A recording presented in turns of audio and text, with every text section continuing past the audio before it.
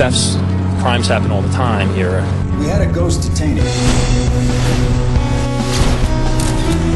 Romney becomes president, he's going to inherit President Barack Obama's secret kill list. And are you comfortable with him having a kill list? I, I have no idea what you're talking about.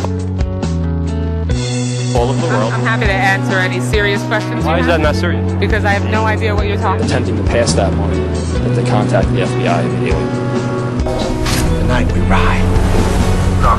Knocker 1, lost tail rudder. Making fun of others ain't cool, so please stop it. Thank you. Gentlemen, we're gonna do some shooting. And we're gonna do more shooting. And we're gonna be shooting some more. I got out, but I really need a place to stay, like as soon as possible.